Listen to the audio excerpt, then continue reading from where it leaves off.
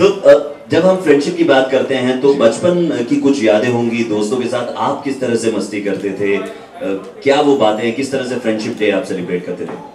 आ, मैं बहुत अपने आप को खुश नसीब समझता हूँ बिकॉज़ शुरुआत से ही मेरा जो मेरी फ्रेंड सर्कल मेरा फ्रेंड सर्कल रहा है मेरे जो साथीदार रहे हैं वो सब म्यूजिशियन रहे हैं। जी। स्कूल से लेकर ही स्कूल से जब शुरुआत हुई थी जब ऑब्वियसली जब फ्रेंड्स नए नए बने थे तो स्कूल के जो मेरे फ्रेंड्स थे उसमें भी कोई एक सिंगर था कोई एक गिटार बजाता था। वाह। और इस तरह से शुरुआत हुई तो और ऑब्वियसली ज़ाहिर है मेरा भाई he was my one of my मेरा भाई था but he was he was my दोस्त दोस्त। मेरा बेस्ट फ्रेंड था। जी। और बिकॉज़ वो ड्रम्स बजाता था और मैं कीबोर्ड्स बजाता था तो तो हमारी दोस्ती शुरुआत से ही दोस्ती के साथ साथ म्यूज़िक म्यूज़िक की इन्वॉल्वमेंट रही है।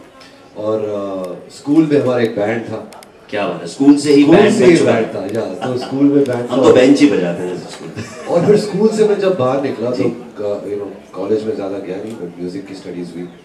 बट बहुत the very beginning right in the very like बहुत पहले मेरी जो मेरे फ़र्स्ट फ्रेंड्स थे उसमें से एक फ्रेंड जो अभी एक ग्रैंड एंट्री लेने वाले हैं। One and only the one and only जी हाँ। जिस तरह से सलीम की एक तो आवाज़ ही इतनी खूबसूरत है जो हम लोग नहीं नहीं रियली जब मतलब रेडियो पर एक अलग आवाज़ होती है और रेडियो फ्रेंडली वॉइस जिसे कहते हैं एब्सोल्युटली फैबुलस और सेटिंग वेटिंग कर लेते हैं।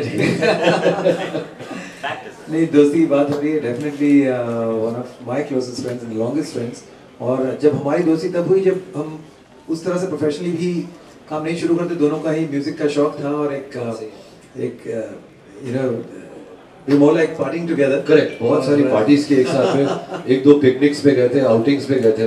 और music was not such a big इतना बड़ा मुद्दा नहीं था क्या करना है ये नहीं पता था। एक ऑफ़ बॉन्डिंग म्यूज़िक की बॉन्डिंग तो थी। ज़रूर ज़रूर पर आई थिंक दोस्ती ज़्यादा गहरी थी म्यूज़िक बिल्कुल और जब कभी कीबोर्ड पर हम लोग जैम करते थे और जिस हाँ। तरह से कीबोर्ड पर कभी उंगलियाँ चलती थी तो बिल्कुल अ, आज भी वैसी है I think the amazing thing about Salim that not many people know is the pianist in Salim I am hoping someday we gonna hear him live मैंने बहुत ऐसे इम्प्रॉम्प्टू शामों में सुना हूँ और बहुत बहुत मज़ा आया है हमेशा। रिकॉर्डिंग का कॉल बोले? नहीं नहीं यार वो बंद हो गया recording I you just came from recording आज आप थोड़ा सा वेट कर रहे हो इसके लिए बिकॉज़ शान की बहुत इंपॉर्टेंट रिकॉर्डिंग है माफ़ी चाहता हूँ सब नहीं नहीं ये तो मैंने अभी वो आते आते चंदन वाला टीका ब्रह्म कुमारीज का कोई भजन करके आया बहुत अच्छी जो। मिल जाए गाने में हमेशा ऑफ़ कोर्स भजन करने तो अच्छी बात हाँ, है हाँ।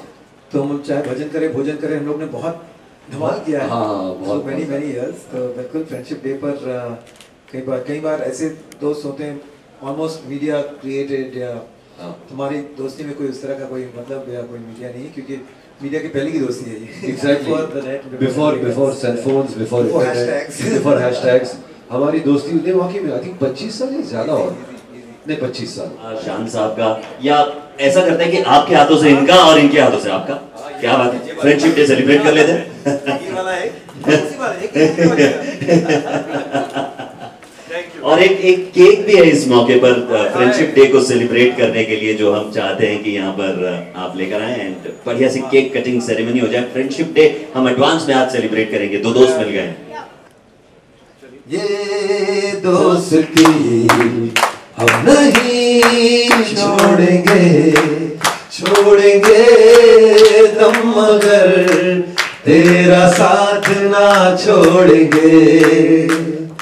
ये दोस्ती हम नहीं छोड़ेंगे छोड़ेंगे दम मगर, तेरा साथ ना छोड़ेंगे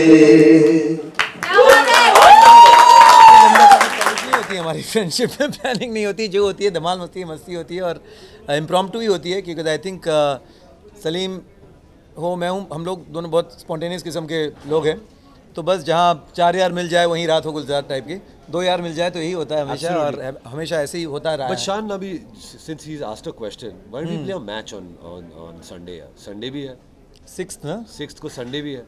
हाँ मैं वो बिज़ी हो?